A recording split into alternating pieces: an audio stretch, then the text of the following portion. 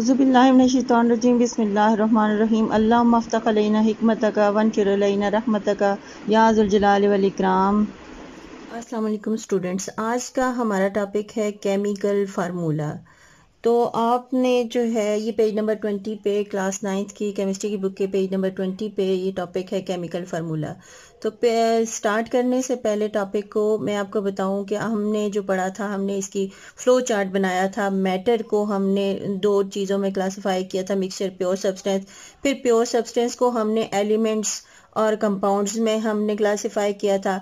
Elements का हमने पढ़ा था कि these are represented by symbols आपने सिंबल्स पढ़े थे और इन सिंबल्स को हमने प्रोडक्ट टेबल में भी देखा था।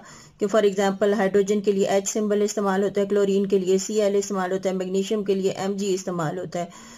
तो इसी तरह जिस तरह एलिमेंट्स को रिप्रेजेंट करने के लिए सिंबल का यूज़ होता है, आज हम कंपाउंड्स के बारे में पढ़ेंगे कि कंपाउंड्स को रिप्रेजेंट करने के लिए जो इस्तेमाल होता है, यानी इसका शॉर्ट हैं, तरीके से जिस तरह इसको रिप्रेजेंट करते हैं, उसको फार्मूला कहते हैं और इसका जो प्लूरल है, वो फार्मूली है। तो फार्मूला जो है, क्या होता है, मैंने आपको जो एग्जांपल्स दी थी, वो वाटर की दी थी घर से कि एक वाटर है, मैंने आपको दिखाया था कंपाउंड्स में, और दूसरा मैंने आपको जो चीज़ दिखाई थी, वो टेबल साल्ट यानी sodium chloride N A C L उसका फार्मूला होता है। यहाँ पर कुछ मैंने आपको एग्जांपल्स दी हुई है कि वाटर का फार्मूला एच टू ओ है, यानी वाटर कंपाउंड है, और उसको रिप्रेजेंट कैसे किया जाता है, इस फार्मूला से H two O carbon dioxide को सी ओ टू से रिप्रेजेंट किया जाता है सल्फ्यूरिक एसिड को H two S O four से रिप्रेजेंट किया जाता है। यानी जब प्योर सब्सटेंस दो दो होते हैं एलिमेंट्स और कंपाउंड्स एलिमेंट्स को शॉर्ट नेम या उनको रिप्रेजेंट करने के लिए जो चीज़ इस्तेमाल होती है, उसको सिंबल कहते हैं और कंपाउंड जो होते हैं, वो दो या दो से ज़्यादा एलिमेंट से मिलकर बनते हैं तो कंपाउंड्स को इस्तेमाल करने के लिए कंपाउंड को रिप्रेजेंट करने के लिए जो इस्तेमाल किया जाता है, उसको फार्मूला कहते हैं। तो रिप्रेजेंट करने के लिए क्या चीज़ कंपाउंड को रिप्रेजेंट करने के लिए यूज़ होती है? फार्मूला तो हम आज केमिकल कंपाउंड्स के फार्मूला के बारे में पढ़े थे कि केमिकल कंपाउंड होता क्या है? जैसा कि मैंने आपको यहाँ पे एग्जांपल दी थी कुछ फार्मूलाज की कौन कौन से फार्मूला के यहाँ पर मैंने आपको एग्जांपल दी जी। एक मैंने आपको बताया एच टू ओ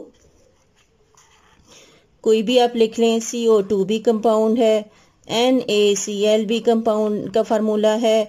इसके अलावा जो है सिंपल से कोई और formula H two S O four जो है, वो भी फार्मूला है। अब फर, केमिकल फार्मूला जो है आपको पता है केमिकल फार्मूला मैंने आपको बताया था कि किस चीज़ की रिप्रेजेंटेशन है कंपाउंड्स को रिप्रेजेंट करता है। तो यहाँ पे जो जितने भी फार्मूला की एग्जांपल मैंने आपको दी है इनमें आपको क्या क्या चीज़ें नज़र आ रही हैं? ये यहाँ पे एक तो आपको इंग्लिश अल्फ़ाबेट नज़र आ रहे हैं जो किसको रिप्रेजेंट करते हैं? सिम्बल्स को। और इसके नीचे आपको काउंटिंग के यानी कांस्टेंट नंबर नज़र आ रहे हैं। तो दो चीज़ें हमें केमिकल फार्मूला दो चीज़ों की इंफॉर्मेशन देता है। एक तो सिम्बल्स की और सिंबल किस चीज़ के होते हैं? एलिमेंट्स के। तो के कौन कौन से फार्मूला से हमें कौन कौन सी चीज़ें पता चलती हैं? नंबर वन क्या है जी? Elements of the compound. Elements, यानी हमें सिंबल्स दिए हुए हैं। यहाँ पर वाटर के कौन कौन से एलिमेंट्स हैं?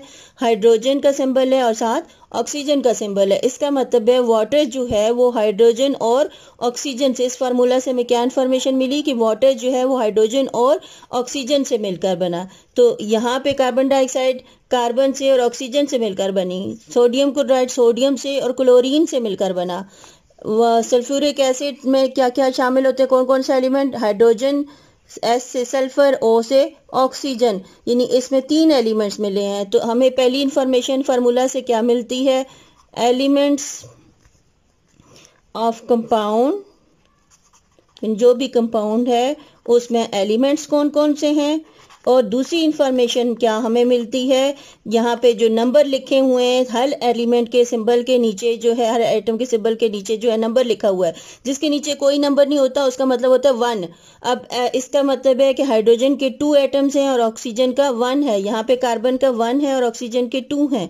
यहाँ दोनों के सोडियम का भी और क्लोरीन का वन वन है। यहाँ पे हाइड्रोजन के टू हैं सल्फ़र का वन है और ऑक्सीजन के फोर एटम है। तो दूसरा हमें जो चीज़ फार्मूला से पता चलती है, वो होता है जी? Number of atom of each element इसका मतलब है कि हमें केमिकल फार्मूला हम किस लिए यूज़ करते हैं कि ये हमें दो इंफॉर्मेशन देता है।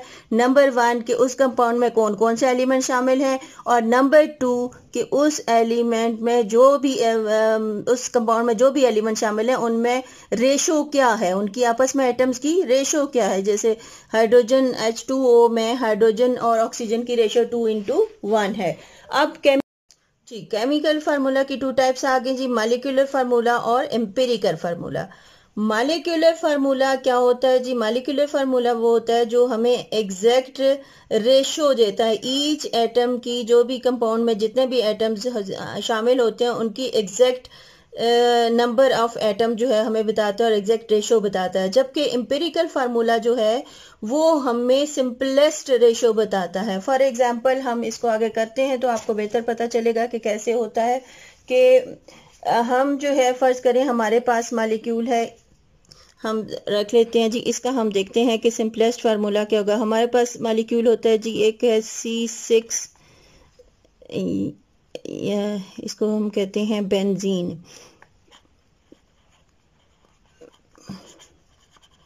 बेंजीन का जो है वो मालिक्यूलर फार्मूला हमें यहाँ पर लिखती हूँ, ये है जी सी सिक्स एच सिक्स अब बेंजीन का मालिकुलर फार्मूला आ जाता है सी सिक्स एच सिक्स इसका मतलब है कि इसने हमें एग्जैक्ट नंबर दे दिया कि बेंजीन के मालिक्यूल में, एक मालिक्यूल में सिक्स जो हैं, वो हमारे पास कार्बन एटम्स होते हैं और सिक्स ही हाइड्रोजन के एटम होते हैं। तो बेंजीन का मालिक्यूल बनता है। लेकिन जब हम इसका एम्पेरिकल फार्मूला लिखेंगे तो इसके एटम की रेशो को हम सिंपलेस्ट फॉर्म में लिखते हैं। अब इसकी रेशो क्या है जी? सिक्स और सिक्स तो इसको एक टेबल से काटते हैं। सिक्स वन जार सिक्स सिक्स वन जार सिक्स तो सी के भी जो है यहाँ पे सी और एच हम लिखेंगे तो सी के भी यहाँ पर हम सिंपलेस्ट फॉर्म में लिखेंगे तो या रिड्यूस्ड फॉर्म में लिखेंगे तो सी का भी वन आ गया एच का भी वन आ गया तो इसका एम्पेरिफिकर फार्मूला होगा। हम ऊपर एलिमेंट लिखेंगे और नीचे इसके एटम की तादाद लिखते हैं, चूँकि वन है, इसलिए हम कुछ नहीं लिखेंगे, इसलिए बेंजीन का मालिकुलर फार्मूला तो सी सिक्स एच सिक्स है, लेकिन उसका एम्पेरिकल फार्मूला जो है वो क्या होगा? सी एच इसी तरह एक और मालिक्यूल है हमारे पास, जिसको कहते हैं जी इथेन इथीन के जो मालिक्यूलर फार्मूला है, वो होता है सी टू एच फोर क्या फार्मूला होता है इथीन का? सी टू एच फोर अब इसके देखें एग्जैक्ट जो है कार्बन के दो एटम है और हाइड्रोजन के चार एटम है। लेकिन हम जब लिखेंगे यहाँ पर सिंपलेस्ट फॉर्म में या रिड्यूस्ड फॉर्म में तो टू इंटू फोर को हम एक ही टेबल से कहा टू वन जार टू टू टू जार टू तो इसका मतलब है सी और एच का यहाँ पर देखें सी के वन है और एच के टू हैं. तो यहाँ पे मैं टू लिख दूँगी. इसका मतलब है कि इथेन का जो एम्पेरिकल फार्मूला है, ये वाला है और मालिकुलर फार्मूला ये है. इसी तरह बेंजीन का मालिकुलर फार्मूला ये आ गया और इसका एम्पेरिकल फार्मूला जो है वो ये आ गया. तो रिड्यूस या सिंपलेस्ट फॉर्म में जो फार्मूला लिखते हैं, उस, उसको हम क्या कहते हैं? एम्पेरिकल फार्मूला अब कुछ एटम्स ऐसे होते हैं जिनका एम्पेरिकल और मालिकुलर फार्मूला सेम होता है, क्योंकि उसको एक ही उसके एटम की तादाद में जो रेशो होती है, उसको आप एक ही उससे एक ही मल्टीपल से या एक ही नंबर से आप जो है उसको कैंसिल नहीं कर सकते। फॉर एग्जांपल हमारे पास, हम सिंपल सी एग्जांपल लेते हैं एच टू ओ की ही ले लेते हैं। एच टू ओ अब यहाँ पे हाइड्रोजन के दो हैं और ऑक्सीजन का एक एटम है। तो जब हम टू इंटू वन को लिखेंगे तो ये तो पहले से रिड्यूस फॉर्म में है सिंपल रेशो है। तो इसलिए इसको जो फार्मूला होगा, इसका सेम होगा, यानी इसका, जो इसका मालिक्यूलर फार्मूला है, वही इसका जो है वो एम्पेरिकल फार्मूला भी आएगा।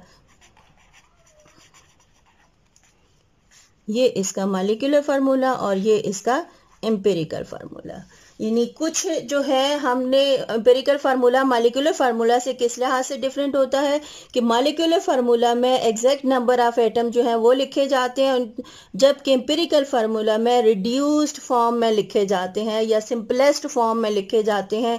तो जैसे मैंने आपको करके बताया कि बेंजीन का molecular formula C six H six है तो सिक्स सिक्स जो है, जब हम इसको रिड्यूस करेंगे तो सिक्स वन जार सिक्स सिक्स वन जार सिक्स तो ये वन वन आ जाएगा तो इसका empirical formula formula C H आ जाएगा। इसी तरह सी टू एच फोर था। इसका जब हमने कैंसिल किया तो इसका रिड्यूस्ड फॉर्म में वन टू टू रेशो आया तो हमने सी एच टू लिख दिया।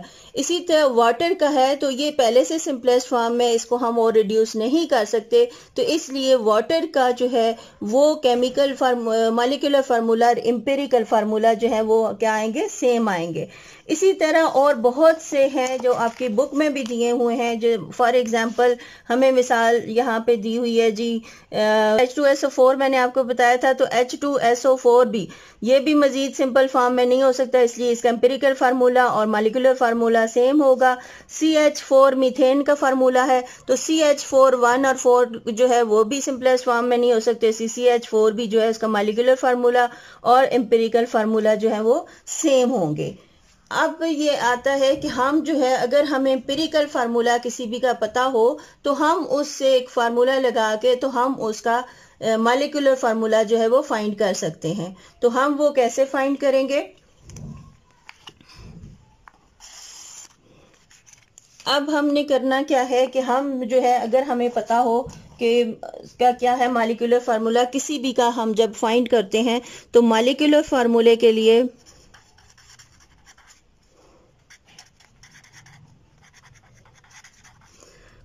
वो कैसे हम फाइंड करेंगे? Is equal to N multiply by empirical formula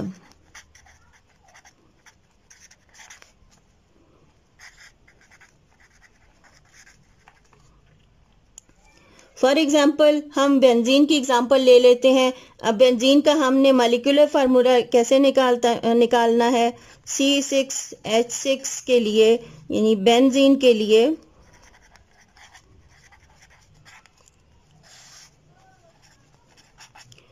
अब इसका जो है एन नंबर जो है वो सिक्स है। तो six multiply by empirical formula जो है, इसका क्या है? सी एच तो अब इसको सी को सी का वन है वन सिक्स और वन तो सी सिक्स आ जाएगा। एच का यहाँ पर वन है तो वन सिक्स और वन तो एच के भी सिक्स आ जाएँगे। तो ये इसका जो है, ये क्या है? इसका मालिकुलर फार्मूला आ जाएगा। अब एन नंबर हम कैसे फाइंड करते हैं? आपकी बुक में यहाँ पे नहीं दिया हुआ तो इनशाला आपको मैं एक और वीडियो में बता दूँगी कि किसी भी के लिए एन कैसे फाइंड करते हैं। आपको, अब मैं आपको बताऊँ कि आपको पता कैसे चलेगा कि कौन से कंपाउंड का एम्पेरिकल फार्मूला और मालिकुलर फार्मूला सेम होता है और किसका डिफरेंट होता है। तो उसके लिए आसान सी ट्रिक है कि आप जो है उनके केमिकल फार्मूला के जो एटम्स की रेशो है, उसको देख लें। कि वो जो है एक ही टेबल से कट सकते हैं या नहीं, यानी मज़ीद सिंपल या रिड्यूस्ड फॉर्म में आ सकते हैं या नहीं। अगर वो एक ही टेबल से कर सकते हैं और मज़ीद सिंपल फॉर्म में या रिड्यूस फॉर्म में आ सकते हैं तो फिर उनका एम्पेरिकल फार्मूला मालिकुलर फार्मूला जो है वो डिफरेंट होगा। अगर वो नहीं कर सकते, जैसे वाटर का है तो वो अगर टू एस ओ फोर का है, वो ऐसे हैं जो एक ही टेबल से नहीं कर सकते या मजीद सिंपल या रिड्यूस फॉर्म में वो रेशो नहीं आ सकती। तो इसका मतलब है कि उनका केमिकल फार्मूला और एम्पेरिकल फार्मूला जो है वो क्या है? सेम इस टेबल से आपको बिल्कुल क्लियर समझ आएगी कि मालिकुलर फार्मूला और इम्पेरिकल फार्मूला में क्या डिफरेंस है।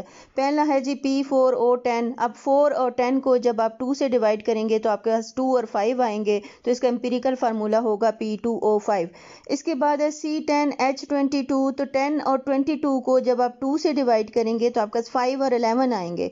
तो आपका इम्पेरिकल फार्मूला आ जाएगा सी फाइव एच एलेवन इसके बाद नेक्स्ट जो फार्मूला है वो है C six H eighteen O three अब आप इनको सिक्स एटीन और थ्री जो है, वो थ्री से सबको डिवाइड करें तो आपके पास आ जाएँगे टू सिक्स और वन तो इसका एम्पेरिकल फार्मूला आ जाएगा C two H six O उसके बाद C five H twelve O है. तो फाइव ट्वेल्व और वन ये तीनों किसी एक ही डिजिट से डिवाइड नहीं हो सकते, इसलिए इसका एम्पेरिकल फार्मूला और मालिकुलर फार्मूला जो है, वो सेम होंगे.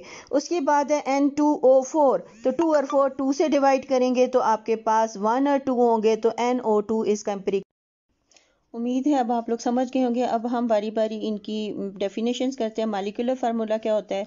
Which shows the types and number of atoms in a compound same as the empirical formula और whole number multiple of it example दी हुई है नीचे आपके एग्ज़ाम्पल्स दी हुई हैं। पहले भी आपने बहुत सारी एग्ज़ाम्पल्स की हुई हैं अब मज़ीद एग्ज़ाम्पल्स हैं। अब इसके बाद हम करेंगे एम्पेरिकल फार्मूला की डेफिनेशन एम्पेरिकल फार्मूला क्या होता है जी? That gives the simplest whole number ratio of the different atoms in a compound that gives the simplest whole number ratio of the different atoms in a compound. So these are the definitions of molecular formula and empirical formula. खुश रहिए खुशियाँ बांटिए अल्लाह हाफिज़